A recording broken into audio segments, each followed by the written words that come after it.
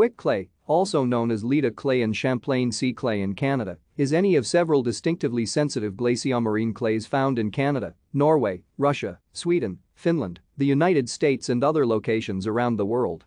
The clay is so unstable that when a mass of quick clay is subjected to sufficient stress, the material behavior may drastically change from that of a particulate material to that of a watery fluid. Quick clay has a remolded strength which is much less than its strength upon initial loading.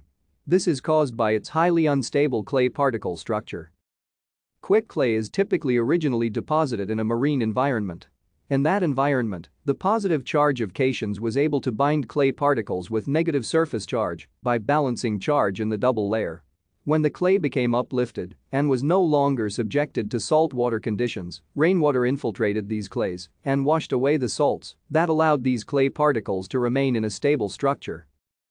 With shear stress, the lack of counterbalancing charge from salts in the quick clay results in clay particle repulsion and realignment of clay particles to a structure that is extremely weak and unstable. Thank you for watching.